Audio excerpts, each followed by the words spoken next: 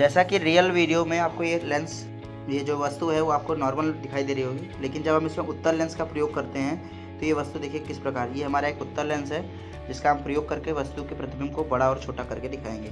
देखिए, जब हम लेंस के पास ले जाते हैं वस्तु को कैमरे को तो ये क्या होता है, वस्तु को बड़े से बड़ा करके दिखाया करती है। लेकिन अगर हम रियल से यहाँ से लेंस को हटा लें तो वस्तु कितनी छोटी दिख रही है। और जब लेंस को लगा लेते हैं तो वस्तु हमें क्या होती है, स्पष्ट और बड़ी दिखाई देने लगती है।